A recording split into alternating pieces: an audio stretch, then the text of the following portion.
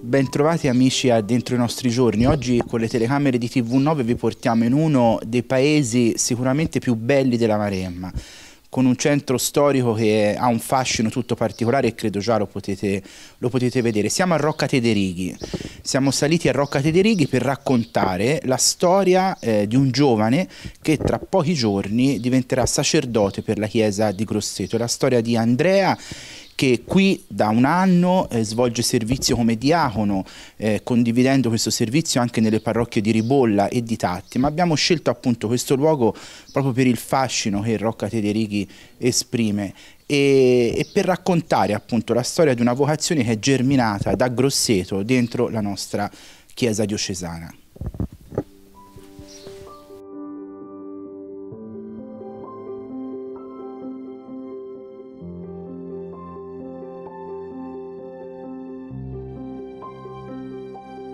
Andrea, eh, oggi raccontiamo una storia che è la tua storia, ma diciamo è la storia di una vocazione, di un sì che sboccia. Eh, te sei giovanissimo, eh, com'è che, uno ti potrebbe domandare, com'è che ti è venuta questo desiderio nel cuore di consacrare la tua vita a Dio? In fin dei conti è una scelta oggi non facile e nemmeno così frequente. Sì, è vero, è una scelta non facile, ma come tutte le scelte, se pensiamo ai vari tipi di vocazione, quella al matrimonio, alla vita consacrata, sono tutte scelte che comportano una difficoltà e un eh, contorno che coinvolge non soltanto la persona singola, ma anche le persone che gli stanno accanto. Eh, sicuramente quella della vocazione sacerdotale è vista da molti come una vocazione ancora più complessa perché ci sono tante rinunce, ci sono tanti aspetti che possono sembrare strani al giorno d'oggi. Alcuni è vero, però è anche vero un altro aspetto, che sono di più le soddisfazioni che questa vita comporta, sono di più le gioie che uno prova che le rinunce che uno fa e soprattutto c'è un contorno di gente, siamo oggi in questo bellissimo paese, anche qui posso dare testimonianza di questo, c'è un contorno di gente che ti aiuta a vivere questo tuo cammino. Quindi una scelta difficile sì, ma anche una scelta bella. Si fa sempre per un di più, mai per un di meno. Tu hai maturato la scelta di entrare in seminario praticamente appena hai finito le scuole superiori, eh, quindi eri giovanissimo. Cosa, da cosa hai intuito che veramente eh, ecco, eri chiamato a questa scelta o che comunque volevi iniziare questo cammino per capire, per verificare? Allora, è stata all'inizio una scelta molto combattuta, anche perché la vita sociale che facevo mi pesava dire di sì a quel tempo, a quella scelta. E allora ho fatto la cosa più semplice che mi è venuta in mente sul momento, lasciare per un momento quella che era la mia vita di parrocchia, quella che era la mia vita eh, spirituale, quella che era la mia vita relazionale anche all'interno della parrocchia e della diocesi, per dire vediamo se mi manca, vediamo se eh, questa attesa è facile oppure no. E allora ho capito che era veramente quello quando non ce l'ho fatta più, quando cercavo di, di dire no e comunque il Signore sempre si ripresentava. Quando ho allontanato da me questo mio desiderio, questo davvero si faceva ancora più vicino. E allora ho detto perché soffrire? Perché dover dir di no a una cosa che mi fa stare bene, a una cosa che mi piace, a una cosa che coinvolge tutto me stesso. Non ne vale la pena dire di no. C'è stato un momento decisivo nella tua vita in cui tu hai capito che la vita sacerdotale era quella che in qualche modo ti, ti, attra ti attraeva, ti, ti, chiamava. Certo, è stata una scelta nel periodo, quindi non c'è stato un momento del dire prima, ce prima non ce l'avevo, ora ce l'ho. Eh, sicuramente c'è stato un cammino dietro. È anche vero che c'è stato un momento in cui io facevo i fine settimana vocazionali e un seminarista mi rispose eh, come mai te sei qua? Che viene a fare? Poi tra l'altro in quel momento io ero anche fidanzato, quindi la cosa già stonava, un, un ragazzo fidanzato che va a dei fine settimana vocazionali. E quella domanda lì di quel seminarista che mi ha detto, ma cosa vieni a fare qua? Cosa cerchi? Allora ho detto, è inutile che eh, faccio finta a me stesso. Parliamoci chiaro, è quello. E quindi allora di lì è iniziato un cammino più serio di discernimento.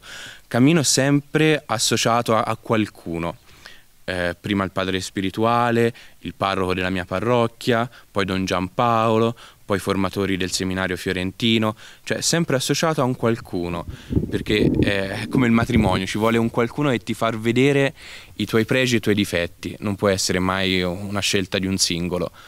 La bellezza della Chiesa, anche la bellezza dell'ordinazione presbiterale. Ci sarà il vescovo che domanderà sei certo che ne sia degno ed è la Chiesa, eh, in quel momento rappresentata dal rettore Don Giampaolo, che dirà sì, ne sono certo, dalle informazioni che ho raccolto, non è mai una scelta singola, la Chiesa ti sceglie, non sei soltanto che te scegli la Chiesa.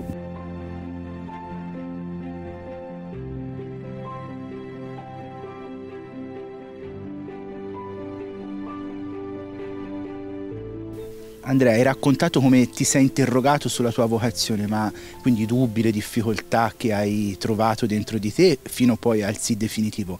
E la tua famiglia? Sicuramente anche la mia famiglia ha giocato un ruolo fondamentale, perché anche tante paure e tante dubbi erano dattate da come loro potevano prendere questa scelta.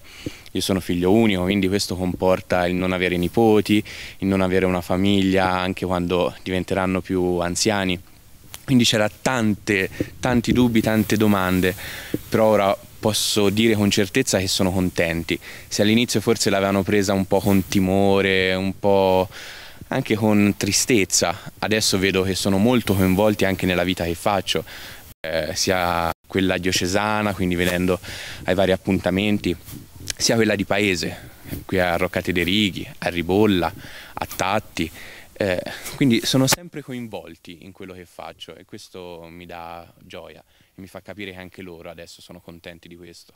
E soprattutto vedo anche la bellezza dei loro occhi quando incontrano le persone e magari eh, gli raccontano di me o magari gli dicono soltanto che bello che tuo figlio sta facendo questa cosa.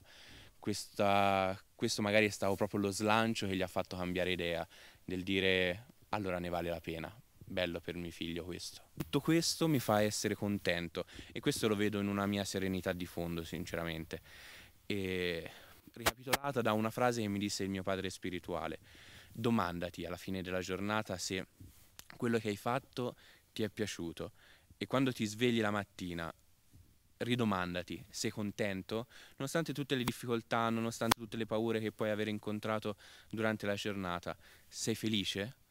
Se quel sì è detto con sincerità, allora puoi andare avanti tranquillamente. E adesso mi sento di dirlo con sincerità, con, con libertà anche. Voglio fare questo e quindi eccomi.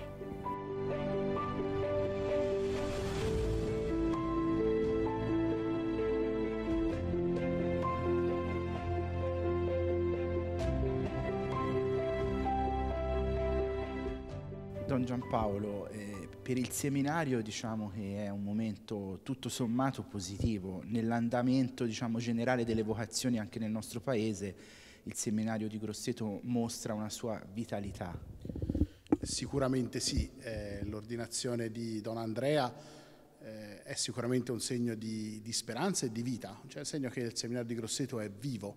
Eh, anche attualmente ci sono due giovani che sono due seminaristi della nostra diocesi, Simone che ha fatto la missione agli ordini poco tempo fa, Ciro che farà la missione agli ordini un po' più in qua, però che ha il suo secondo anno di seminario, Simone invece al terzo, e poi ci sono due ragazzi al propedeutico, è il momento un po' decisivo questo del propedeutico perché dovranno un po' decidere della loro vita.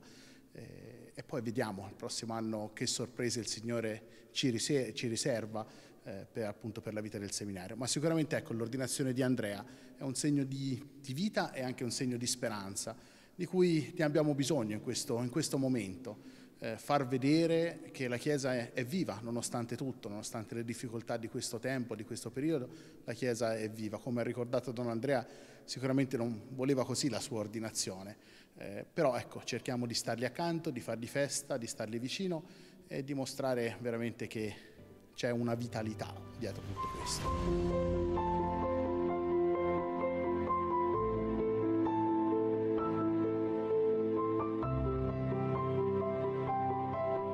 Stefano Bonelli è uno dei diaconi permanenti della nostra diocesi, ma è anche una colonna di Rocca Tederighi. E in questo anno, in quest'ultimo anno, hai condiviso il cammino, anche l'esperienza diaconale con Andrea eh, qui anche nella parrocchia di Rocca Tederighi.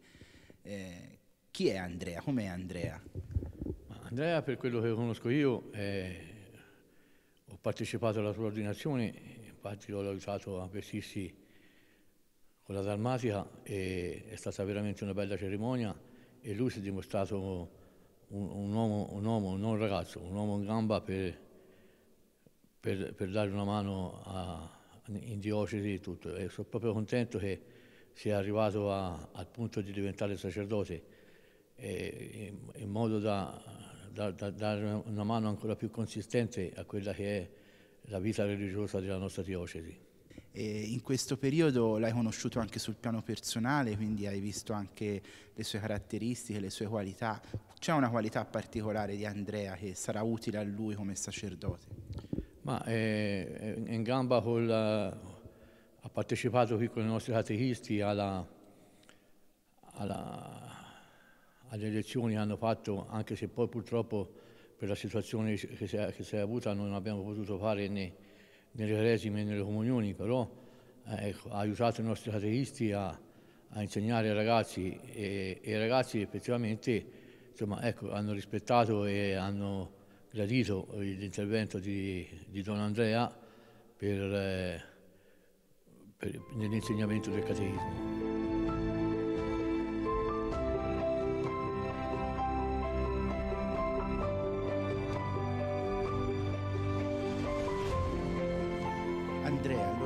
ormai ci siamo, possiamo dire che tra pochi giorni eh, riceverai l'ordinazione sacerdotale, un po' il culmine di un cammino iniziato un po' di anni fa, ormai anche se sei giovanissimo ancora.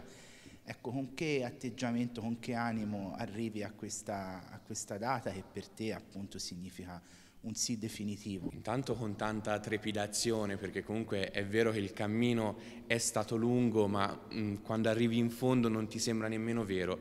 E quindi c'è tanta trepidazione, tanta paura anche perché è vero che finisce un cammino, ma ne inizia uno completamente diverso, completamente eh, ricco di, di cose belle, ma anche di responsabilità. E poi anche con un po' di, di, malinconia perché non può essere come l'avevo desiderato. Questa pandemia purtroppo ci ha dato delle restrizioni eh, forti che non dipendono da noi, quindi con tante, con tante sfaccettature la sto vivendo questo periodo, però con una serenità, una gioia di fondo del dire eccomi, finalmente ci sono e finalmente ho accanto a me delle persone che mi stanno incoraggiando ad andare avanti in questo che è il mio cammino.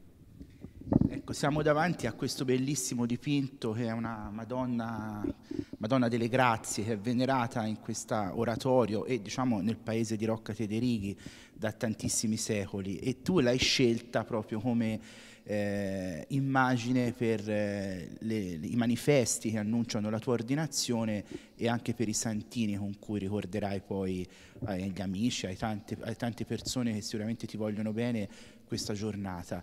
Che significato ha questa Madonna per te? Allora, è una Madonna intanto bella, mi piaceva tanto questa immagine per la sua bellezza e poi volevo un qualcosa che ricordasse non soltanto eh, l'ordinazione in sé, ma il posto dove il vescovo mi ha chiamato a fare servizio. Eh, questa è l'immagine che di solito sta sull'altar maggiore, adesso c'è il Sacro Cuore perché siamo nel mese di giugno, ma di solito questa sta eh, sull'altare tutto l'anno. È una Madonna a cui il paese è molto legato, proprio perché in questa chiesa si svolge quella che è l'attività quotidiana della, della liturgia e della pastorale. È una Madonna del XVII secolo di scuola senese, ma mi piaceva soprattutto per il legame che c'è con il seminario. È molto simile a quella che abbiamo in seminario. Abbiamo vissuto da poco la festa di Maria Regina degli Apostoli e in questo quadro c'è un po' il riflesso di quello che abbiamo in seminario. C'è la Madonna, il bambino e questo cardellino tra le mani, segno eh, che anticipa la passione, perché la leggenda vuole che un cardellino sia andato sulla testa di Gesù per togliere una spina. E quindi eh, questa similitudine tra la Madonna che mi ha accompagnato nel corso del cammino del seminario, davanti alla quale ho pregato, dalla quale davanti ho sostato anche in silenzio, adesso si ri, ripete di nuovo nel percorso che il Signore mi chiama a vivere da ora in poi. Quindi il legame per il paese, il legame per la similitudine del seminario e la bellezza anche indiscutibile di questa pala.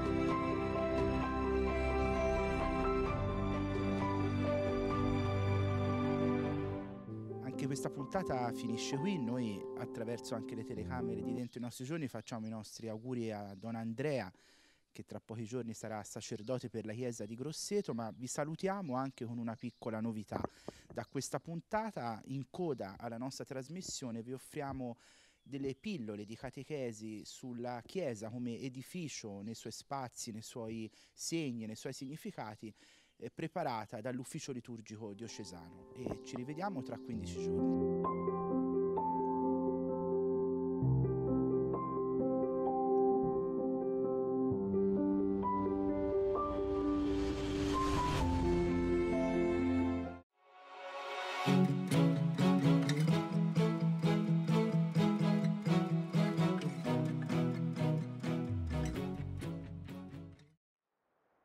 Lasciamo che sia il Signore stesso a raccontarci qual è la sua idea di luogo santo, di tempio, di chiesa, anche come edificio.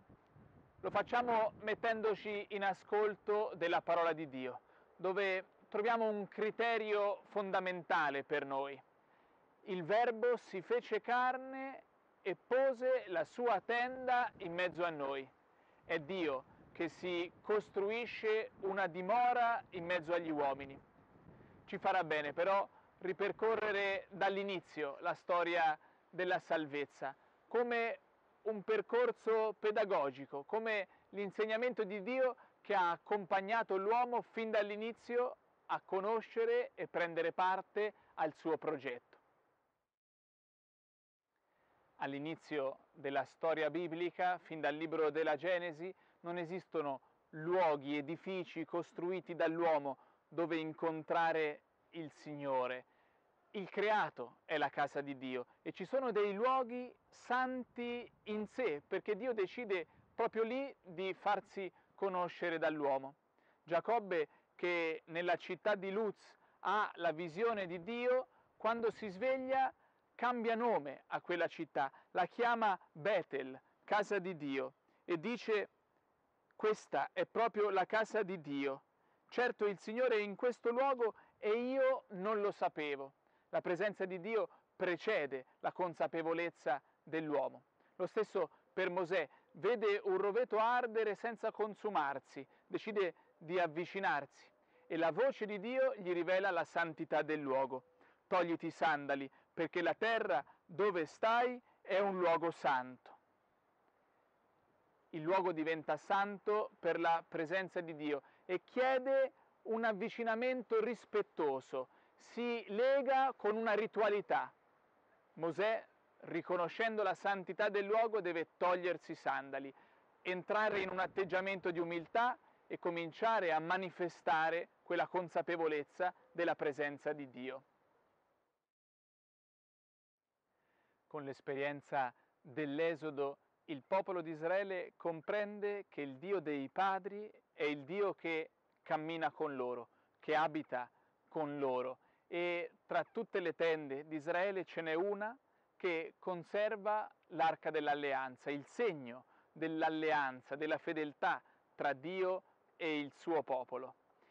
Quando Davide conquista la cittadella di Gerusalemme riunisce lì i regni di Israele e desidera costruire un tempio, un luogo stabile, come sono stabili le nuove dimore di Israele, un luogo dove segnare la presenza unica di Dio per tutto il suo popolo, l'unico luogo dei sacrifici, la dimora di Dio su tutta la terra.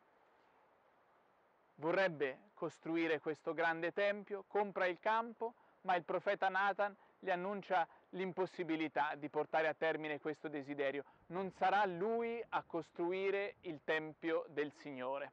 Servono mani innocenti, cuore puro, un suo discendente costruirà il Tempio. Nella storia di Israele il primo Tempio viene costruito dal re Salomone e diventa il luogo più importante di tutto Israele, il luogo centrale. Che rimarrà il cuore dell'esperienza del popolo di Israele, che lo perderà nell'esilio, lo desidererà, lo ricostruirà, tornati da Babilonia, lo ingrandirà al tempo del re Erode. La scrittura ci rivela però che non era quello il tempio che Dio aveva promesso a Davide. Non era Salomone, il discendente di Davide, che avrebbe costruito il vero tempio, la vera e stabile dimora di Dio con il suo popolo. In un bellissimo romanzo sul re Davide di De Vol, l'autore immagina il chiudersi gli occhi, il morire di Davide e il suo aprirsi alla consapevolezza del progetto di Dio. E dice, d'un tratto Davide capì perché non gli era stato concesso di costruire il Tempio del Signore. Solo le mani più pure potevano compiere l'opera. Era forse Salomone il figlio predestinato? No.